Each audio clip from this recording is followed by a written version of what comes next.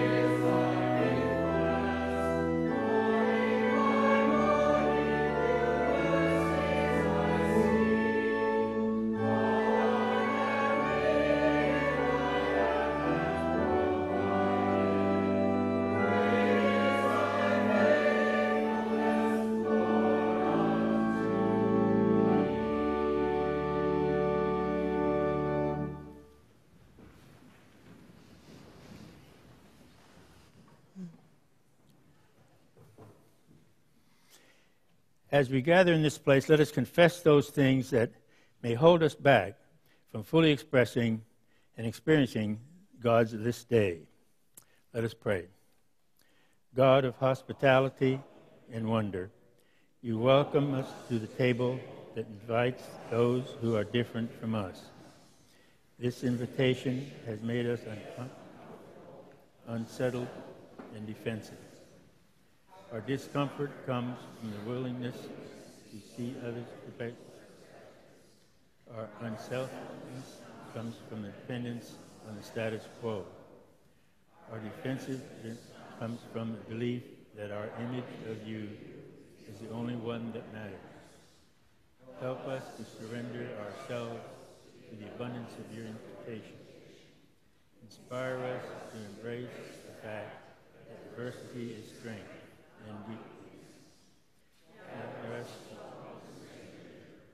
carefully oppress and feed the hungry. Open us to your gospel that we might better embody the loving community you call us to be. In the wild and wonderful name of Jesus, we pray.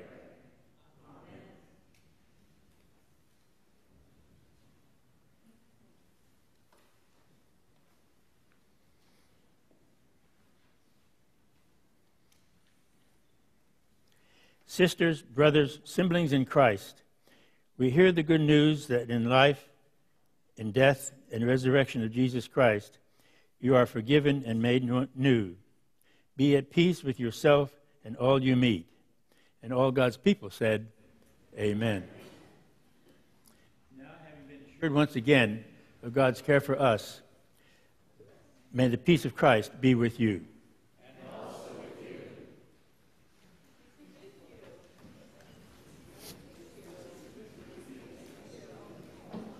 Christ be with you. You can't get it. Peace be with you. Peace of Christ be with you. Peace be with you. Peace be with you. Jan, Jan, Jan, Jerry. Nice to see everybody. Christ, Alan, Jerry and, Peace of Christ. peace be with you. Charlotte. Peace of Christ be with you all. peace of Christ be with you. The peace of Christ be with Peace you. of Christ. Marge, Peace of Christ. Like the Peace. Christ be with you. Peace be with you. And you, John, it's lovely to see you. Yes, it Peace is. be with Nice you. surprise. morning is from the book of Psalms, number 116. I love the Lord because he has heard my voice and my supplications. Because he has inclined his ear to me, therefore I will call on him as long as I live. The snares of death encompassed me, the pangs of Sheol laid hand on me. I suffered distress and anguish. Then I called on the name of the Lord. Lord, I pray, save my life.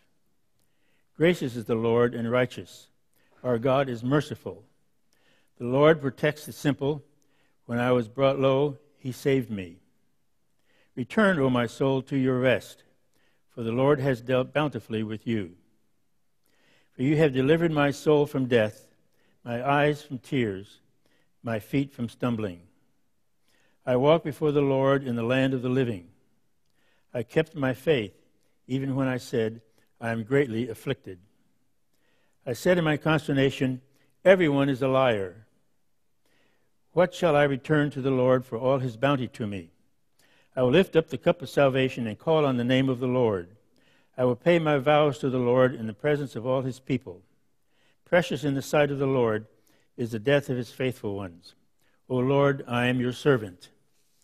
I am your servant, the child of your serving girl.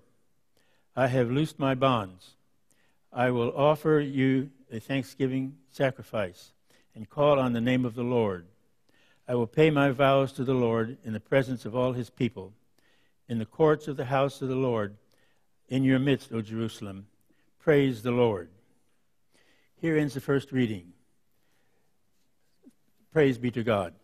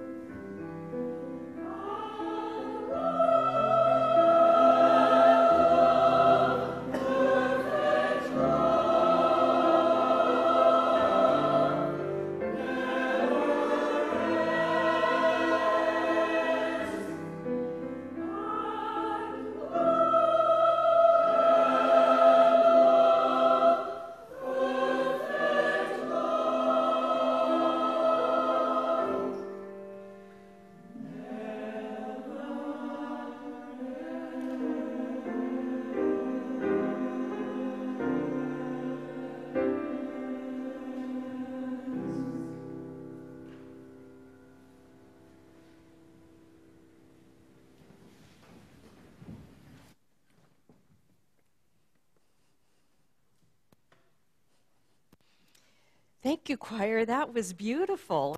Thank you to David for helping me remember and know the particular liturgical dance of every church. You know, David the dancer, right? Welcome to all of you who are here today and those watching online. Today's a Communion Sunday, so I guess if you're at home, you've got to get your own communion elements. But I am Erica Rader, and I am glad to be here with you today. I am the stated clerk of the Presbytery of San Jose, and I'm glad to be able to celebrate communion with you today, making tangible and visible that connection that's been important and significant to me. It is my job to resource and support the churches of the presbytery, all the churches. But you and me, we have a particular bond, even if you don't know it, and some of you do. It goes way back seven years ago. I would say that there are three wise men, wise men, wise women who were key to helping me understand my job, understand my role as a stated clerk and the function. These wise women of polity, you know them, the legendary matriarchs of church polity, Claudia, Alice, and Marcia. You know them.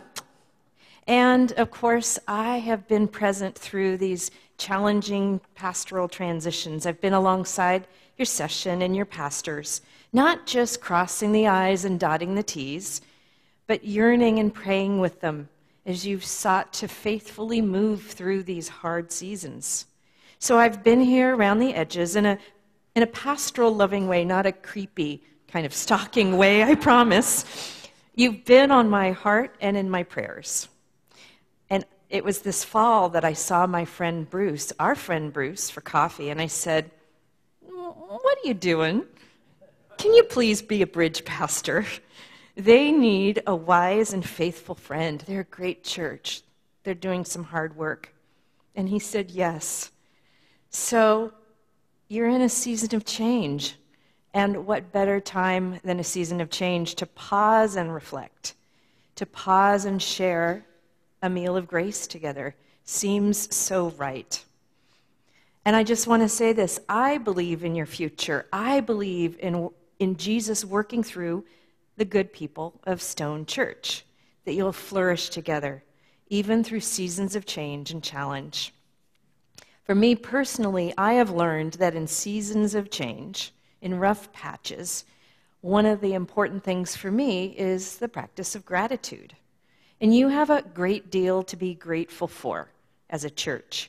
You have a passion for God's justice, for inclusion of all people. You have a deep gift of creativity and cultivating beauty. And you are good at caring for each other.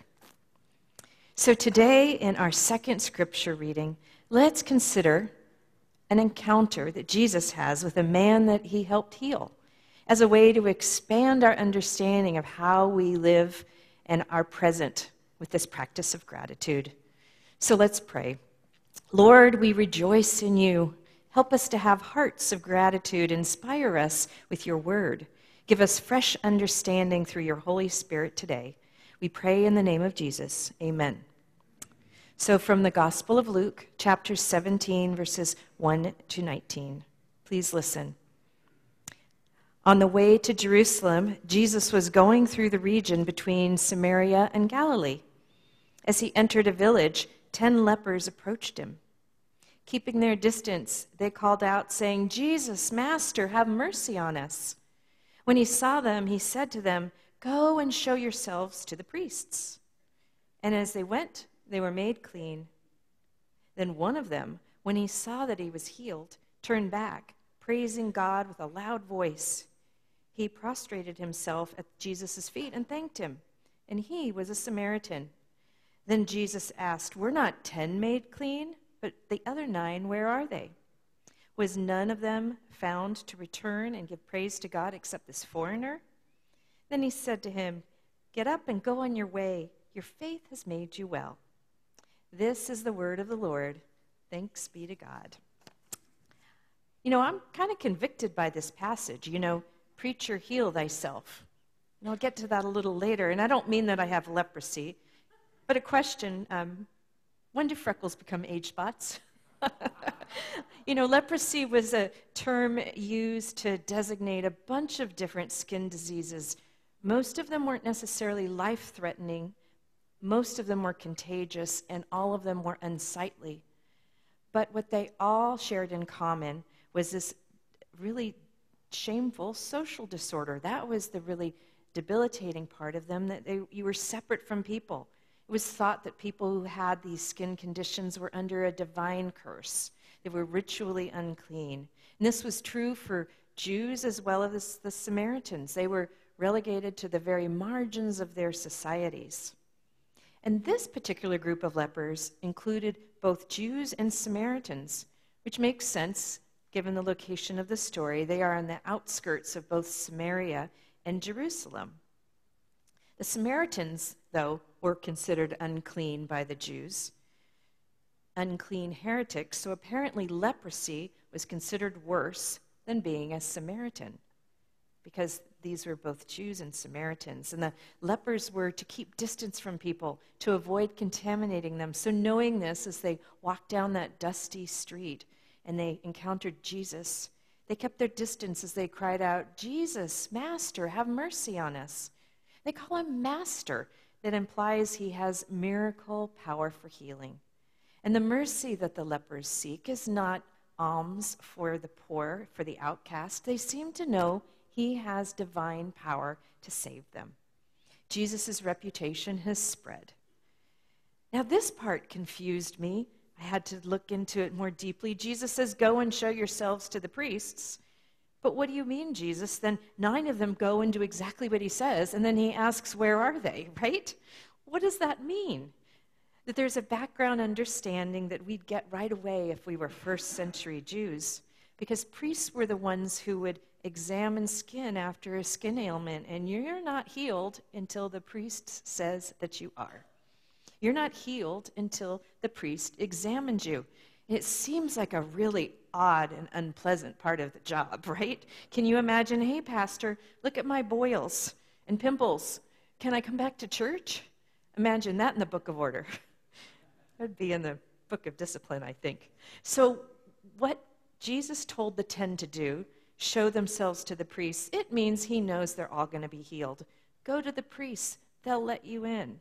It is a statement that they are going to be fully healed. Because the true ailment is this social ostracizing, this separation and isolation. He doesn't say which priests they should go to, he doesn't say which temple Samaritans or Jews, because all will be healed. He's not discriminating between them. So, this wasn't a weird mind game by Jesus where he demands them to leave and is disappointed if they don't. He's not telling them to flee, he's just saying, you're going to be clean. You are going to be fully healed. But there's something special about that one man, and I want to examine that one man, that Samaritan man, his ability to pause and turn and look at Jesus. This man had faith. He had faith. He believed that Jesus wasn't just a healer, but that this divine power came from God. The man paused and he turned around.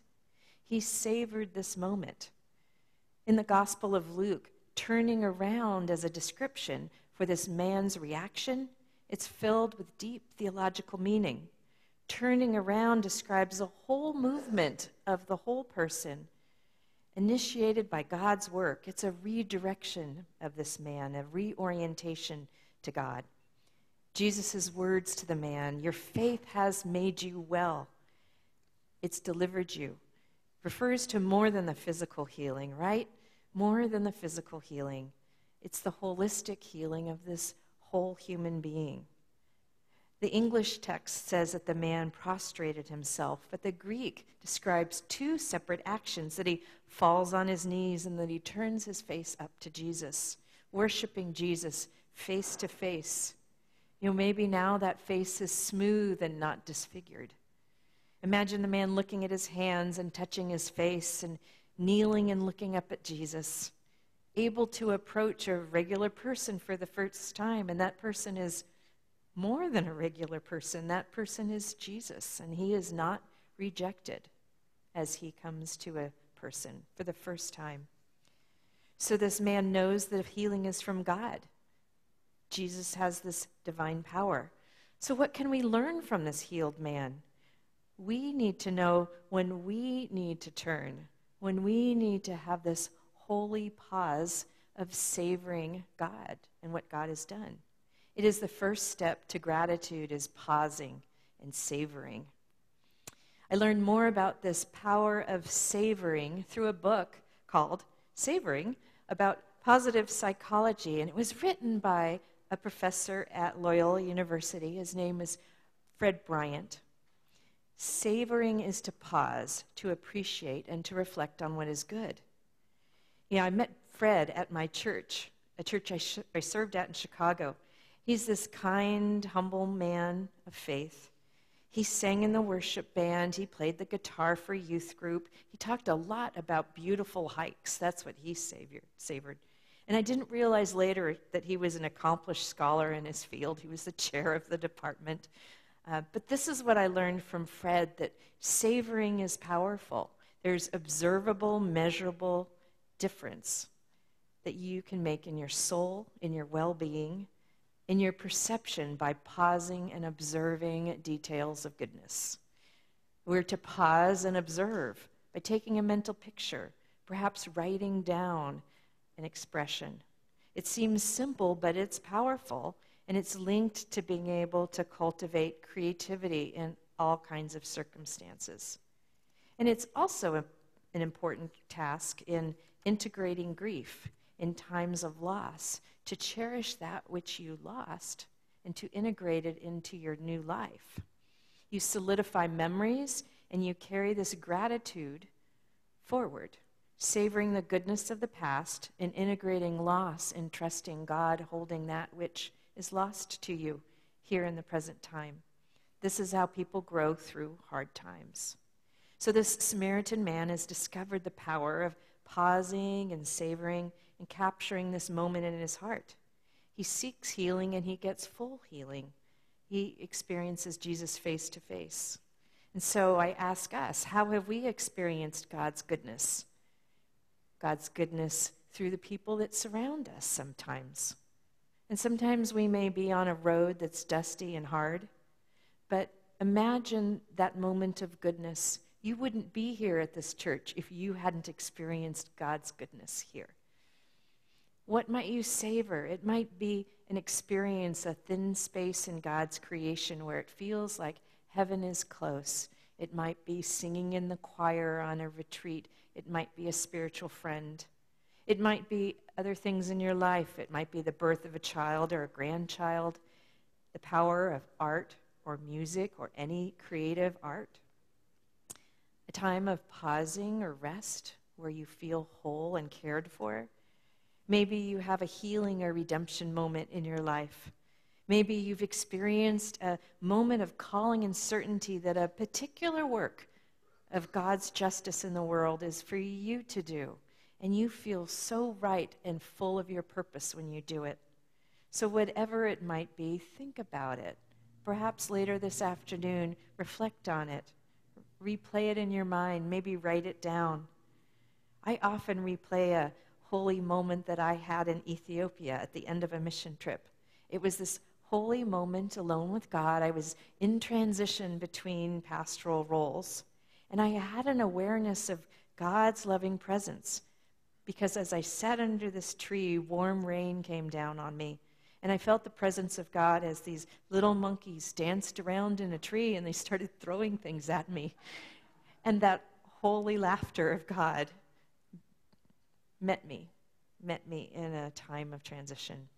So, inviting us to savor those moments, large or small, because small things too make up the fullness of our circumstances, make up our human experience. You might be familiar with Thomas Merton. Um, he, he wrote many works, he was an activist and a scholar, and this is what he wrote about gratitude. To be grateful is to recognize the love of God in everything God has given us. And God has given us everything. Every breath we take is a gift of God's love. Every moment is an, of existence is grace. Gratitude, therefore, takes nothing for granted, is never unresponsive, is constantly awaking to new wonder, praising the goodness of God. For the grateful person knows that God is good, not by hearsay, but by experience. And that is what makes all the difference. Gratitude is therefore the heart of the Christian life. So, church, what do you think? Is that true? Is gratitude at the heart of Christian life? I guess that means we're to reflect wherever we find ourselves in the fullness of the present moment, asking, what are we grateful for? And I know sometimes that's hard. Sometimes you have a heavy burden. Sometimes you might be yearning for healing that doesn't come for you or for a loved one. And I know many of us can relate to this. There are hard experiences where we may not be grateful for these experiences, but we can be grateful that we know in Jesus our story is not over yet. We can be grateful that we're not alone. We can be grateful for each day.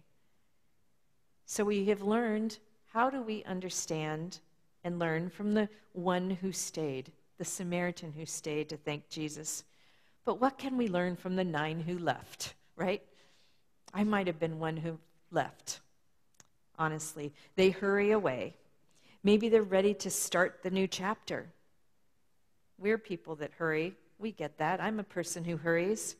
You know, I shared that this passage convicted me. It's because I am really bad at not hurrying. I leave very little margin for where I am going and what I am doing. We might hurry because we don't like where we've been. We don't pause. When I think of those nine who left, maybe they didn't understand the unfairness of how they got that disease in the first place. They've lost a lot socially, perhaps family. They've lost a lot. I get that. Maybe it's just in our culture to keep moving and to hurry. You know, this past week I had a day where I was scheduled with back to back meetings. And in between, I stayed at my elderly mom's house near Santa Cruz, was doing some chores, was also trying to arrange a helper to come into her house. And I was rushing home from taking her shopping to go to the next appointment. Because I was helping my mom walk, and, and we walk slow. A woman came up to me and said, Are you mother and daughter? And I said, Yes. And she said, I wish I could go to lunch with my mother. She's gone. I hope you treasure that. And I thought, wow, did I savor that moment enough? Sometimes you need to ask that. Sometimes we need to heal ourselves of hurry, and we have those angels who ask you those questions. But sometimes we have good reminders in our own life of when we don't hurry and it feeds our soul. So let me tell you another family experience. Being at the park and unhurried with my six year old grandson, Liam. And I remember this, and it gives me lasting joy. So when I was raising my children, I always felt like I was rushing them. Five more minutes till we need to go because we need to go to the grocery store, we need to pick up your sister, or we needed to move on to the next thing. So I did something very uncharacteristic of me with Liam. I decided I would stay as long as he wanted to stay. And I wasn't going to suggest time to go. I wasn't going to try to navigate leaving. I wasn't going to ask him to leave. I climbed through tubes to follow him. I got so many steps on my watch. I was just so grateful to God for this little boy and that I was healthy enough to mostly keep up with him and squeeze in those tubes and climb up to all those steps. And that I had this experience and this relationship with this little boy. We eventually left mostly because he wanted ice cream. So, friends, wait for the ice cream, right? I would say that in this church, you have many times, many experiences to pause and to savor goodness together. I saw them in your bulletin. I saw cherry pie. Cherry pie? But I know that there's so much more. If you scratch under the surface, there are connections and friendships and experiences and activities and love that you share together. You are a church that's faithful to your calling to be agents of justice. You have a passion for justice, and you are excellent at caring for one another. You are excellent at caring for one another. You're a church who's loved and lovable. You've been loved by pastors in the past, and you'll be loved by other pastors in the future. And maybe you want to hurry. Maybe this season of transition, you want to rush through the transition, the new PNC, all the things. And yes, work through them in the diligent way that this church always diligently works through things. But don't miss the opportunity to savor why a new pastor would love to be at this church. Don't forget to savor why you are loved and lovable and to experience the joy of your life together that someone else will be able to join later. So, this is a moment to pause and be grateful. As we come to the table of grace later, let's give thanks with grateful hearts and let's pause, look at each other, and enjoy each other and enjoy Jesus. Amen. Amen.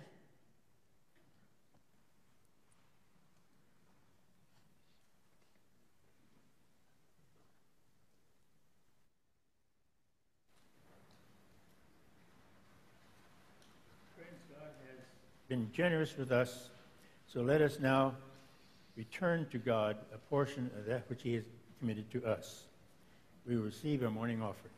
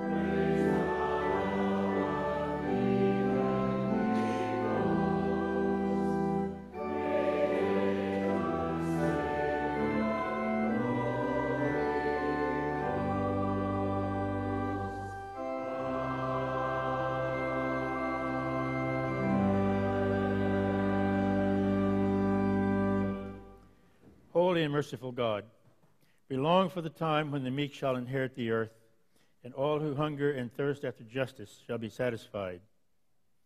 We believe that, despite the persistence of evil, now is always the time when more good can be done, and we can make a difference. May it be so through the offering of these gifts and through the offering of ourselves. In Jesus' name, amen.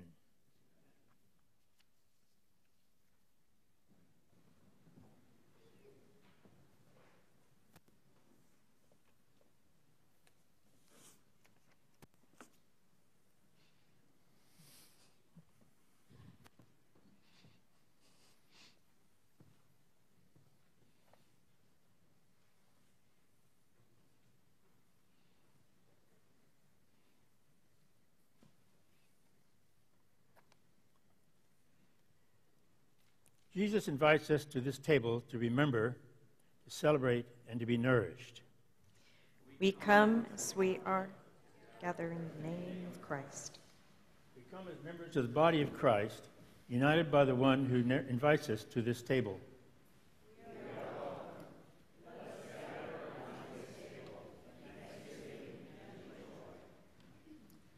The Lord be with you. And also with you.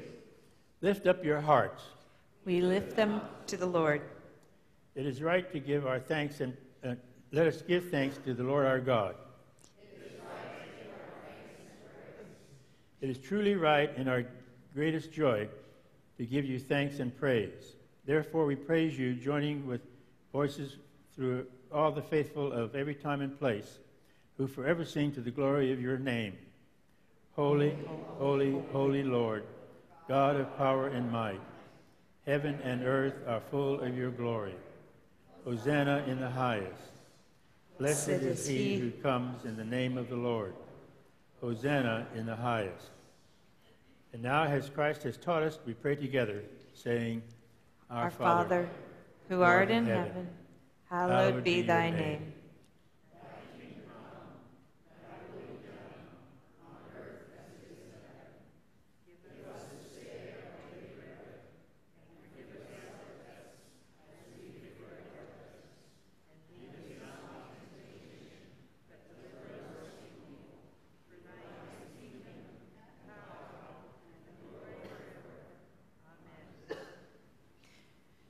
So you remember the tale as Jesus paused with his disciples at that Last Supper.